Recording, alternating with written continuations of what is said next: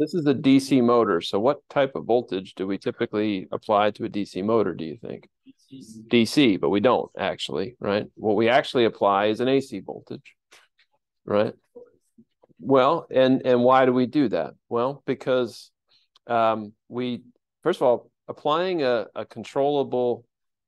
This has a controllable DC value right here, right? Think think about this guy right here. This this is V VM, the voltage I'm applying to the motor, right? How could I this this thing is a periodic waveform, right? So we call this pulse width modulation, right? So it what I do is I I modulate or change the width of this pulse right here. So that means you keep the frequency constant, but you change the width. So you change D, right? If I change D, what component of this of so that this guy if he's periodic, he's got a Fourier series, right? So one of the one of the frequencies in that Fourier series is clearly going to be DC, right? Because this guy is offset from zero right? If I change the value of D, what's going to happen to the, the DC component of this? In other words, the, the zero frequency term of this guy. What's going to happen to it? Like if I if I make D bigger, in fact, let's say I make D equal to one, right? If D was equal to one, what would this waveform look like? If if D became equal to one, where would this edge move to? T. Move all the way over to T. It'd just be a flat line, right?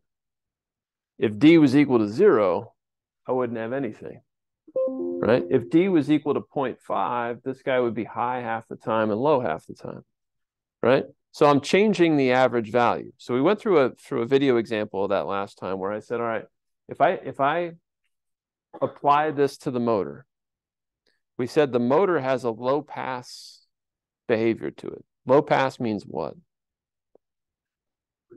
It allows low frequencies to go through. So if I choose a frequency, so ch choose a frequency for this waveform that's high enough that the har harmonics don't pass through the filter, what I'll see is a very constant speed here because it's like I'm just applying a DC voltage to the input.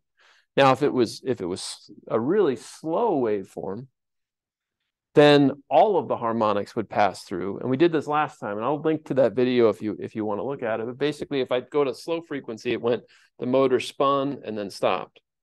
And then it spun again and it stopped.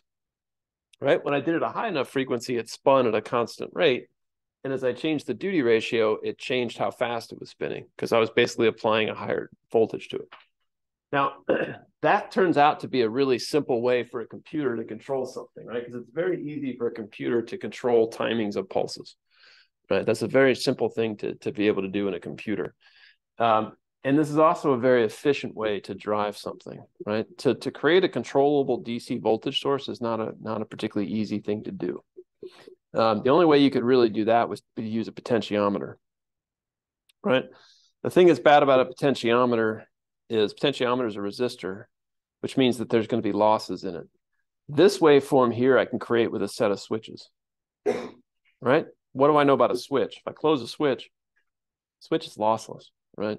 But it's basically a wire when it's closed and it's an open circuit when it's open, right? So in theory, that switch is a lossless device, and that's why we, we do it that way.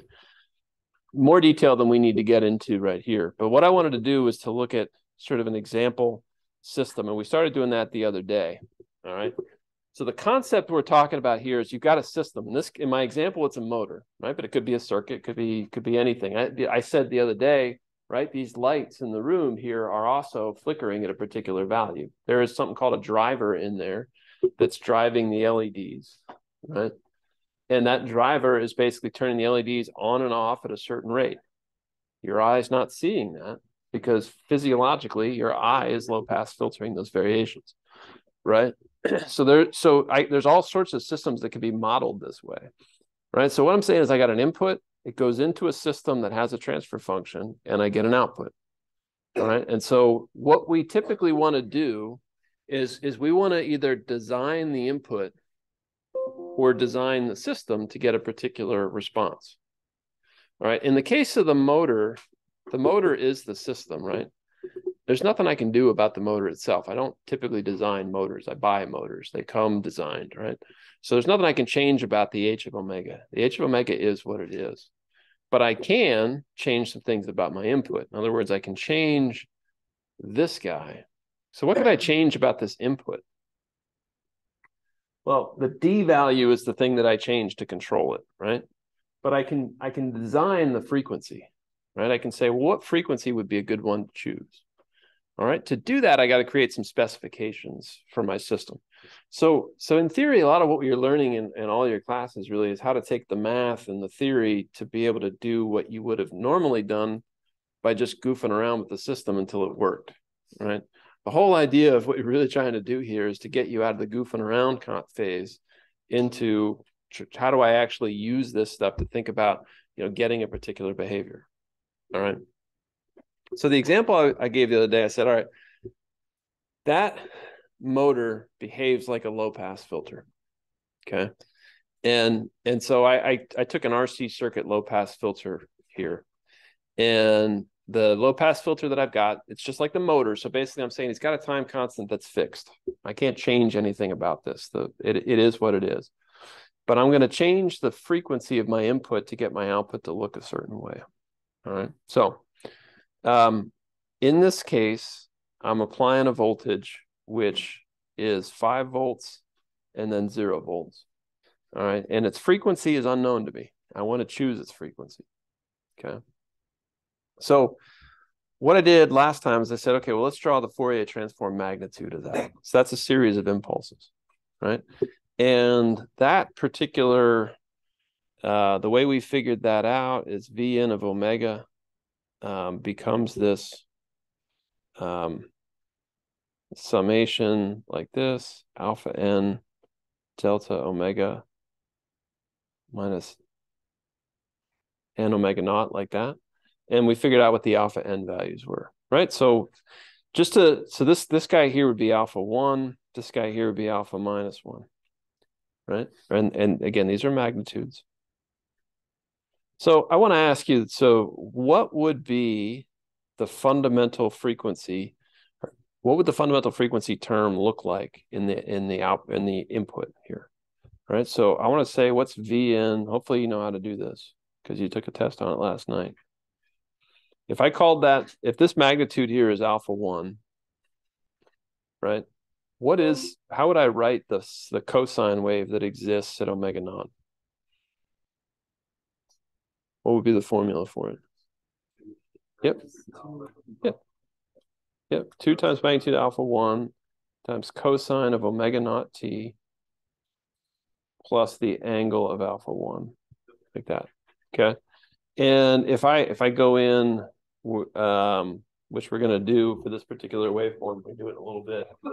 Uh, it's going to be one point five. In fact, let me just write out alpha. Alpha is going to be this. Alpha will be one point five nine uh, one J. Right.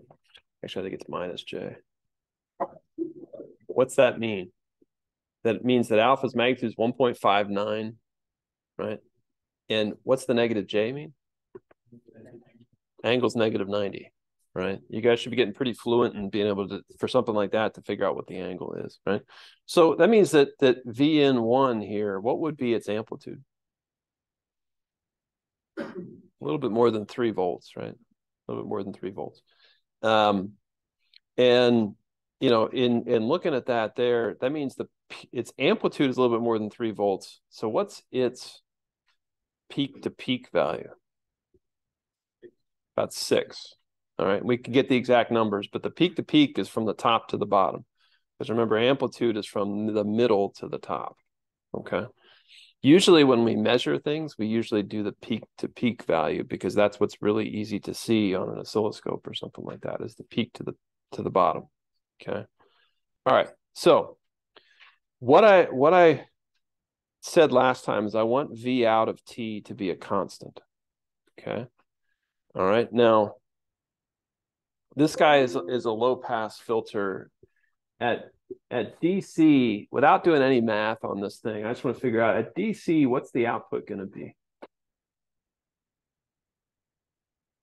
At DC, what's the output going to be? Well, we can figure that out pretty easily here. What's the what's the average? What's the DC component of VN? What's the magnitude of the DC component? For what I drew right there, you should be able to just look at that and tell. And there's no math required to do, no hard math, no integrals. What's so how do I figure out the yeah, well just from looking at that graph, how can I figure out what the value is?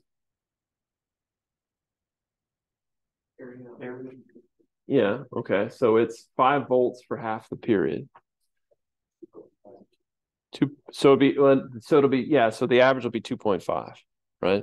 So I'll end up saying that this guy is uh, the DC term on this, I guess I'll call it VN zero would be 2.5 volts. All right. Now, basically what I'm saying is, is that that means I could think of this input voltage here as basically being a summation of a bunch of different sources. One of them at DC, one of them at the fundamental, one of them at the second harmonic, one of them at the third harmonic. And I can, if I have a summation of sources, I can use superposition to think about it, right? So if I had a 2.5 volt source right here, what would the output be across the capacitor? be 2.5. In steady state, at least it would be 2.5, right? Why do I know that? Because the capacitor is an open at DC, so there'd be no current flowing through that circuit. So 2.5 volts was what I'd have across the capacitor. All right. So my goal is for the output voltage, my design goal is for the output voltage to be a constant. Okay. So what does that mean in this case? All right. So based on what we just said here, that I want V out to be, V out of T should be 2.5 volts. Like that. All right. I want that guy to be a constant. Now, V out of omega. All right. What would that look like? What would that look like? So if I took the Fourier transform of that thing, what does that look like? single impulse. Yeah, 2.5 volts. Now, to make that happen, what we know here is that V out of omega is equal to H of omega times V in of omega, like that. Okay. So what does that mean about the magnitude of h of omega? If I want this to happen, if I want V in to look like this, or it does look like this, and I want V out to look like this, that imposes a constraint on h of omega, doesn't it? What's h of omega have to be at all of these frequencies? In other words, what's the magnitude of h at omega naught have to be for this to work? for me to have nothing at omega naught in the output. Zero, right? Now, what I said is that's not physically possible, right? And that's certainly not happening with the, I mean, to say that that's not physically possible is something that I know to be true, right? That's not possible. But certainly for this system, we can see that it's not possible, right? Because I can figure out h of omega pretty easily. So from, we, we talked about this last time. How do I figure out h of omega? Well, I can get it from the differential equation, but that's never never your friend, right? What's the what's the easiest way probably for you guys to figure out that h of omega from input to output? What would you do? What circuit? What kind of circuit is that thing? Well, it's first order. It's in series. It's a voltage divider, right? And so if I use the voltage divider relationship, I find out that this transfer function is 1 over j omega tau plus 1, where tau is RC, right? So that's that's my transfer function. Now, the thing to remember is it's a function. What I'm saying is this is a complex number that is a function of a real frequency, right? So that the frequency omega is a real number. And it's a function because I want to look at what it looks like versus frequency. I'm not trying to pull off one value right? I am trying to look at this thing as a function of frequency. I want to graph h of omega. Okay. All right. So this guy cannot possibly be equal to zero at omega equal to any real frequency, right? How, why do I know that? What's true about this about this guy here? Well, how, at what value of omega does this thing have to be? What value of omega would I need for h of omega to be equal to zero? Nope, certainly not. I mean, just looking at this from a math perspective, what value of omega would I have to have for this thing? Infinity right? The only possible value of, of omega that could zero that thing out would be omega equal to infinity. Now, what you what what you just said is is the way that we're going to try to practically approach this, right? Is is to say, all right, well, I, I have certain frequency ranges where it's equal to one, right? For low frequencies, this guy is equal to one. For high frequencies, it starts to approach zero. Never gets to zero, but starts to approach it. So in other words, I can't I can't create this constraint that I want, where the constraint that I want would be for the magnitude to equal zero at that point. What I can do instead is I can try to make the value smaller, right? So what I do is I made up a constraint. This is typically what you'll do. You'll, you'll try to say, okay, well, what I want is I want to choose a fundamental frequency. So the amplitude of the sine wave at the fundamental is less than 5% of the DC value. All right. So what I'm saying is, is if I looked at the output, so here's T, here's V out. In steady state, this guy is going to be at 2.5 volts. Plus, he's going to have a little sine wave riding on top of him. And I'm saying I want to choose the amplitude of the sine wave at that frequency to be less than 5% of the DC value. Okay. All right. So the way that I think about this is in the context of the frequency domain. So if I drew the magnitude here, this is 2.5, right? That's the DC term. And then I have something at omega naught. All right. This guy was alpha, was what I call alpha one. Right. So what's the amplitude of the of the sine wave at the fundamental frequency? How do I write that in terms of this alpha one here? How do I write the amplitude of that term? What would it be? Yeah. So it's two times that. Two times that, right? So what I'm saying here is I want I want to write this out mathematically. What I'm saying is I want V out at omega naught, right? Two times that magnitude, right, is equal to the amplitude of the cosine or sine that exists at that frequency. Okay. So I'm saying I want that value to be less than 5% of the DC value. So how do I express that? I want that to be less than 5% of the DC value. So how would I write that? Well, all right. What's the DC value? How do I express the DC value?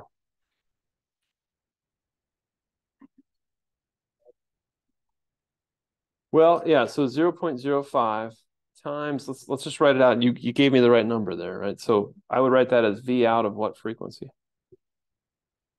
What's DC? V out of what frequency? Zero. Right. I'm saying I want the this is this is putting it so I put a constraint here on the amplitude uh, at omega naught, right? So I'm saying I want the amplitude of omega naught, which is two times that magnitude of V out, to be less than 5% of the DC value. All right. So if I plug in some numbers there, so so basically um, V out of omega naught should be less than 5% of 2.5 divided by 2, which if I mm-hmm. work that out, I think that comes to what did I get? 0.0625. Well, yeah, 0.0625. All right, is what that works out to be. Right. Did I do that right? Two times. I think I did that right. Yeah, that's right. All right. So 0.0625. All right. So that tells me here what this guy needs to be. So what do I what do I what do I do with that? Right? What do I do with that? Well, so I've told myself what this needs to be. So what do I do next? Now that I have this, I'm saying this is this is what I need to have happen.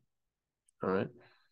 Now, the thing that we know is that V out of omega naught is equal to H of omega naught times V in of omega naught. Right? And I can write that in terms of magnitudes. All right. What's the magnitude of V in of omega naught? We know that because we've got the Fourier transform of it, right? So I'm saying I want this guy to be 0.0625. Magnitude of H of omega naught is this. I don't have a number for that just yet because I don't have an omega naught, right? That was the thing. I'm saying I don't have an omega naught. I don't know the frequency of this thing. I'm trying to figure out what frequency to get to, right? I've given myself a goal of trying to have V out of omega to be less than 0.0625. So I want to choose a frequency that's going to make that happen. So I, am saying 0.0625 is equal to h of omega naught times V in of omega naught. Now, no matter what frequency I have, we said that this magnitude was 1.5915. That tells me that the magnitude of h of omega naught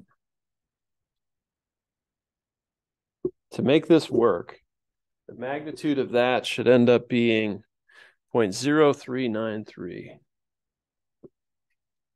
All right, something less than specifically that that's what it works out to be, but I want it to be less than that, right?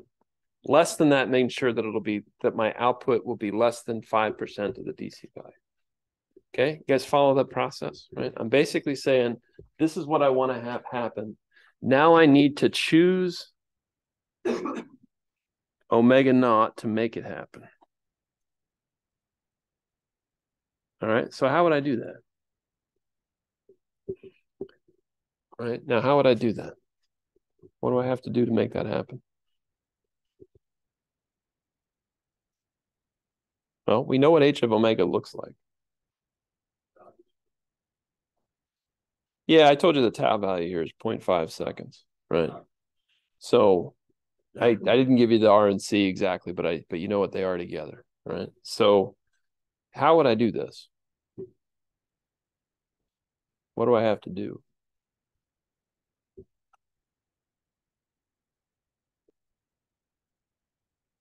Well, do I know what this is? Yeah, I so so the transfer function was this j omega tau plus one, right? And omega naught is is the specific frequency we'd be solving for. And I could solve it, right? But we don't typically do that. What we typically do is we draw the graph of of h of omega, and we because we don't because you guys have been trained your whole life up until now. You've been doing all this training in math to find numbers with your stupid calculator that that will have five digits of of accuracy, right? But that's not the way the world works, right?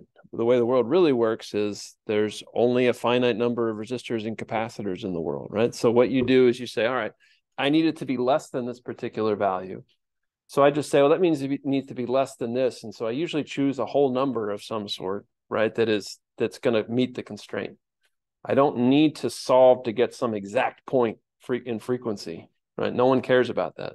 They care that I cross that threshold with enough with enough conservative estimate that I'm definitely going to meet my specification. Okay. So what I do is I draw a graph. And I, I look on that graph and say, okay, where is the frequency at which this is true? And then I'm going to choose a frequency that's a little bit higher than that. And I know I'll be fine. All right. So how do we do this? So what I do is I draw the graph of this this this particular thing. So I draw the graph of the magnitude of h of omega, which is 1 over square root of omega squared tau squared plus 1 squared, right? Which I don't like to, to draw. What I do is I this is how I code that. All right. Now, you you if you know how to use the Bode command in MATLAB, but you may now, right? Um, what I did was I created an omega vector, right? Here's my transfer function. And then I basically plotted omega versus the absolute value of h. Now, how, so my goal was to choose omega naught so that the magnitude was less than 0.0393. so where, so how do I do that here? So there's the magnitude on the y-axis. Yeah, so where's point zero? So I'm looking for where it's less than point zero three nine three. I don't. That's like somewhere down here, I think. Right now, the problem with plotting the magnitude of this thing is it's it's really it's kind of a hard graph to look at, right? Because it's all the action kind of happens right here, right? And then it sort of disappears on me, right? It looks like it's equal to to something. It looks like it's fallen off, and then it's just zero, right? Um, that's kind of the way it looks. And that, that's not a very easy way to look at this thing. So what we do is we want to zoom in on the graph. All right. So you guys probably know this now from in circuits circuits two, right? But what what can I do to zoom in on that? Well, I can plot this thing on a logarithmic scale. All right. So what I do is is this. Here's here's logs give me the ability to zoom in. All right. So I, I wrote out basically numbers here from a thousand to 0.01. So let's see if you know what is that. So going from 100 to 1,000 or 10 to 100 or 1 to 10, what do we call that? A decade, right? Not not a decade like in the context of the 90s or whatever, right? But a decade in the context of a a sort of a factor of 10 in in frequency, right? So if I take the log and I and I'm careful to say log 10, log base 10. The reason is because MATLAB if you type log into MATLAB, it thinks that that is what you are. It thinks that's ln, right? So, so you guys complain about how you've lost days of your life group goofing around with stuff in MATLAB. This was sometime around two, the year 2000. I lost a day of my life with that one, right? Just so you know. Yeah, yeah. It was. It's it's memorable. I can't I can't forget it. Right. LOG 10 is is the way you do the log in in MATLAB. So how do I do that? What's the log base 10 of 1? 0. Okay. What's the log base 10 of 10? 1. Of 100? 2. 1,000 is 3. What's 0.1? Negative 1. And this guy would be negative 2. So if you think about that, so 0.01 is about, I don't know, it's if I, so I tried to draw this out. Here's the omega axis. Uh, here's a thousand, let's say. So there's a thousand. That would put 100 about 10% of that. So 100 would be about here. 10 would be about here. Right? If I if I plot this now on the logarithmic axis, I can't even, I'm not going to be able to effectively draw the rest of them, right? They could just get closer and closer to the origin. What happens when I put that on a logarithmic scale, though? Well, a thousand could still be here, right? So, so on a logarithmic scale, the way I think about this is, we, let's call this three. Uh, let's call this, well, three, one, two, zero. I didn't give myself enough space here. Negative one. Didn't think about what it's going to look like. Like that, right? So what do those correspond to in frequency? Well, this is 10 to the third, right? This is 10 squared. This is 10, 1, 0 0.1. Basically, what I'm doing is is all of this stuff that got shoved in close to zero is getting expanded out so I can see it better. And that's helpful to me because if I look at this, there's a lot of crap going on down towards zero right? So this allows me to kind of zoom in and see all that activity that's happening. Yeah. So so this is the way to to kind of look at this. Now, can I ever see DC? No, why not? Because what's the log of zero?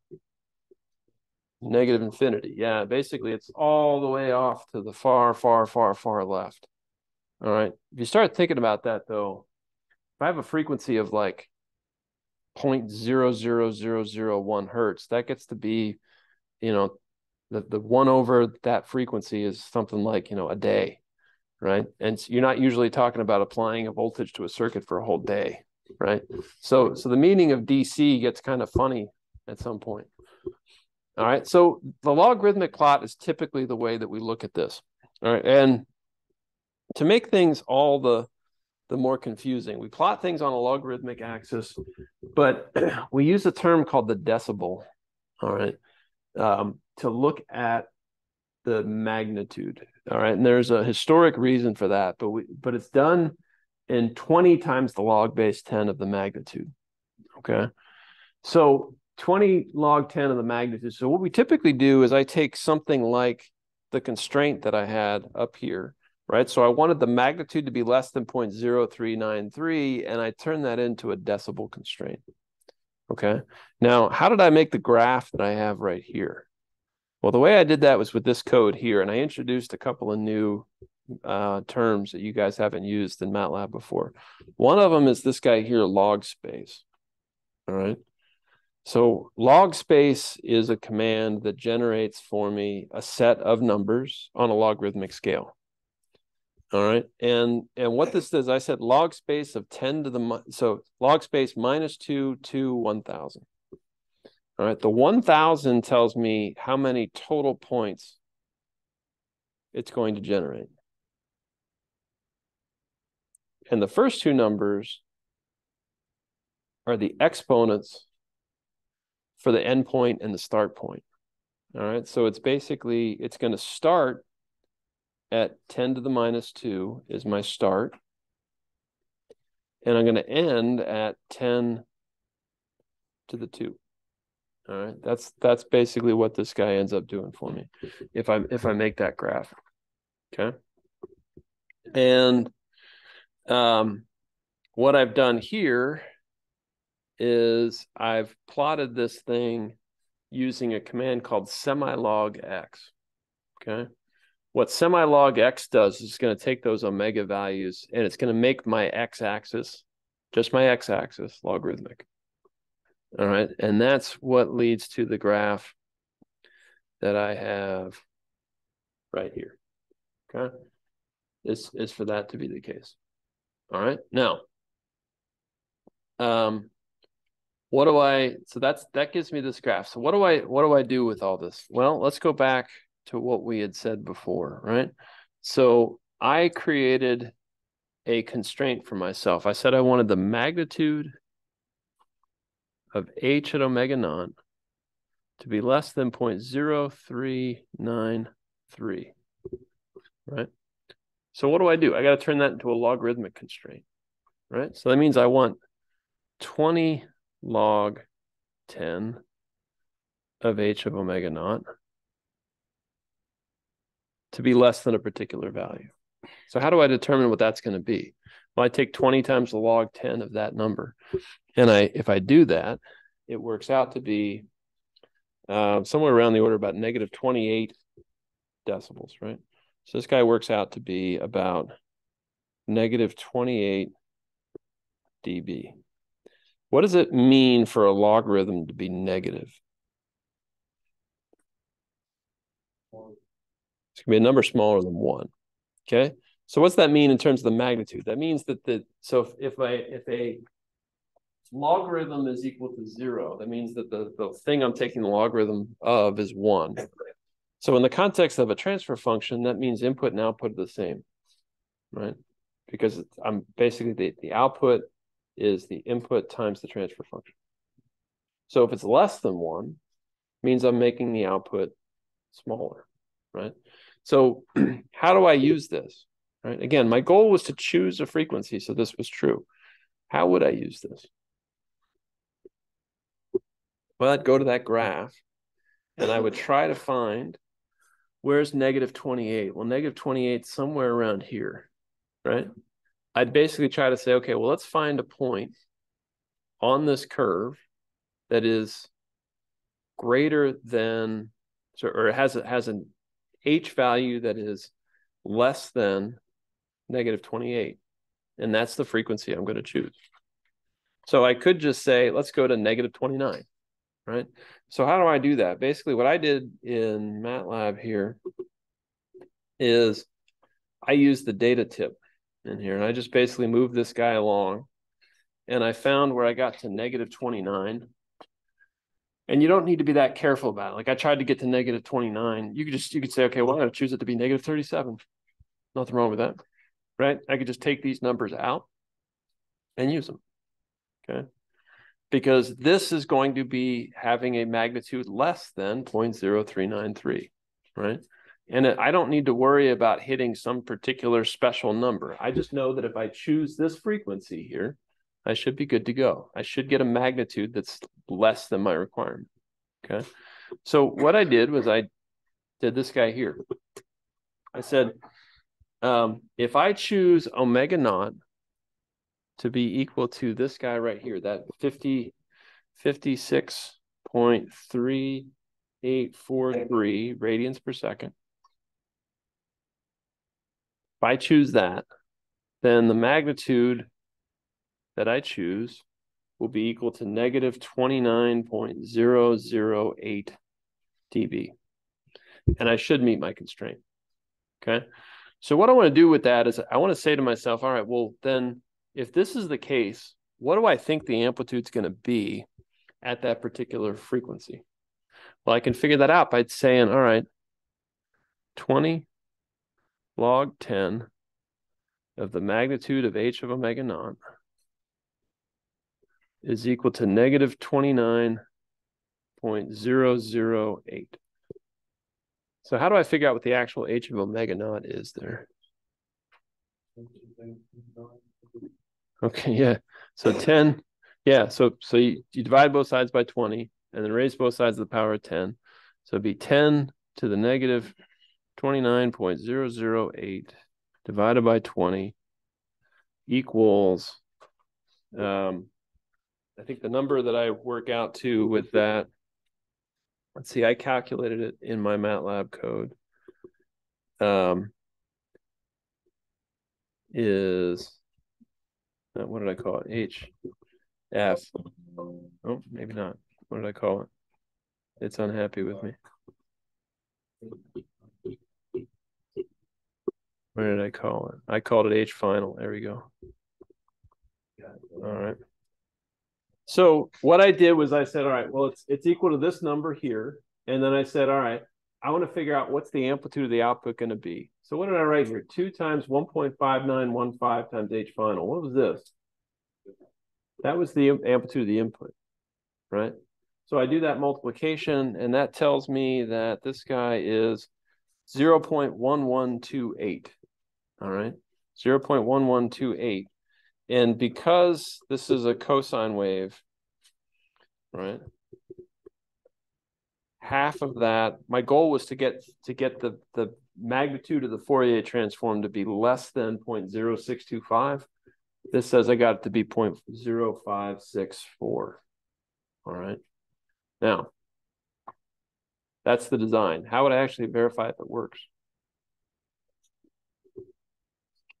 I'd have to build the damn thing, right? And actually and actually see if it worked. So how am I going to make you do that in here? What's that? Well, you could, I mean, you could you could go and well, yeah, you could build some hardware and do it, or I could simulate the system. Now, how could I simulate the system? MATLAB, right? It's an RC circuit, right? And you guys know how to make a simulation of an RC circuit. You did that in the first project, right? So what I did was I simulated it right? And that's what you're going to be doing. Right. So I write this simulation, I run it. Now let's this this is what I got as my result. Now we're going to look at this a little bit more on Monday, but when I look at that here, that was the input. I got a square wave going zero to five volts there. That's the blue going back and forth. My output is the red. So what did I want the output to be? Let's try to zoom out onto the bigger picture here. What did I want the output to be? I wanted it to be one single line. And I, what did I want the value of that single line to be? 2.5 volts. All right. Now, first of all, if I look at this, I do have some variation. I have some ripple going on there, right? Well, around what value out here? 2.5. So I got what I wanted to there, right? Um, is my ripple, we'll have to look at that more carefully on Monday if my see if my ripple's the right size. What's going on at the beginning? I thought this guy was supposed to be constant. Why do I have that? Because there's a transient. In a real system, there's a transient. When I look at that, when I look at that Fourier transform, right? I'm basically assuming that my output's gotten to steady state, right? So that's so so when I look at the real world system, we've we've we moved over all doing all this Fourier stuff. We basically said, you know what, all that transient stuff we're going to forget about because it doesn't last that long, right? I can stay in the steady state for a long time. All right, so that's that's one thing that's a little bit different here. I get this transient that I got to look out for. All right, so I so here's here's where I have. All right, so I got the 2.5 I wanted to. If I look at the peak to peak value on this, we'll talk about this a little bit more on Monday because I know I'm up on time. But the peak to peak value on this, I did record a shot of this. Let's see, is specifically that to that, that's 2.785. All right. Now my predicted value was 0.2257, right? In other words, I said if I had a fundamental term, it should have been 0.2257, but it's actually 0.2 0.785. So I said it was going to be 0.22. It's actually 0.27. Why am I wrong? Is that a sine wave? It's not a trick question. Is that a sine wave? No, it's not a sine wave, right? No, it's not like no, it's not. Why is it not a sine wave? I said it was going to be a sine wave. Why is it not a sine wave? Um, what was true about my input? So the, the input had all these harmonics, right? I only did my analysis here at the fundamental frequency, but there's what? What else is there? There's other harmonics, right? I haven't zeroed them out either. So, so what I'm actually seeing here is a little bit bigger than what I predicted, right? That makes sense because there's other harmonics that I haven't included in my analysis. If I think this is too big, what could I do as a as an alternative? If I think this is too big, what should I change? Yeah, and what should I do with the frequency? Go up, right? If I go up, I'm just going to make the stuff get smaller and smaller. Eventually, I can make that ripple look purely sinusoidal. And if I keep going far enough, eventually I'll make it so it looks pretty darn constant. All right, that's the way you typically tend to think about this stuff. If I know what the transfer function looks like, I can just choose a value or alternatively, I can basically choose in some problems, choose the transfer function given the frequency to, to get a particular value. Those are the sorts of things you're going to be messing with on the on the project. All right, that's it.